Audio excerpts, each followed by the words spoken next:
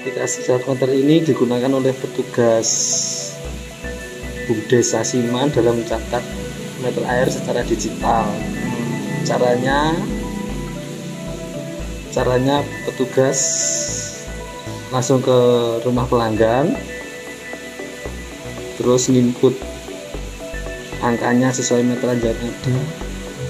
Ini sebuah contoh misalnya 15 161.600 terus dilengkapi dengan dokumen foto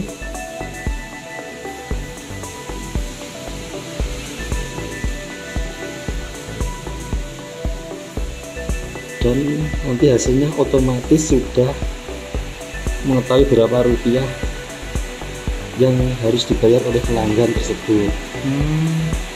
jadi internet secara digital dan nanti ini memudahkan tugas admin dalam menginput angkanya di rekening air. Jadi tidak perlu menulis manual. Ini tinggal copy paste angka meterannya.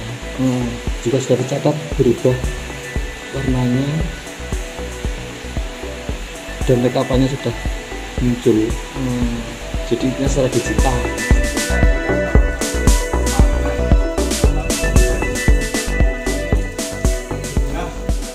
efisiensi tenaga kerja itu menciptakan salah satu aplikasi yang namanya aplikasi catat meter. Itu sudah berjalan pada Februari, tahun 2020 itu rekan kami menciptakan salah satu aplikasi tadi yang itu cukup menggunakan HP Android.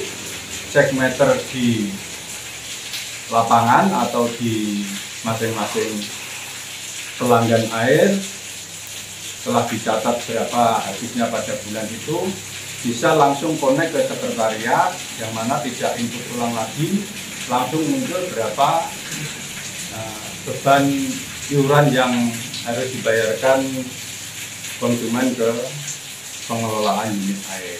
Untuk aplikasi ini sendiri untuk sementara masih di intern di Desa Siman sendiri dan juga masih uh, apa di Bumdes Desa Simanto sementara masih belum di karya dari anak desa ini sendiri jadi tidak tidak itu aplikasi yang sifatnya membeli atau gimana itu murni karya dari hmm. anak desa.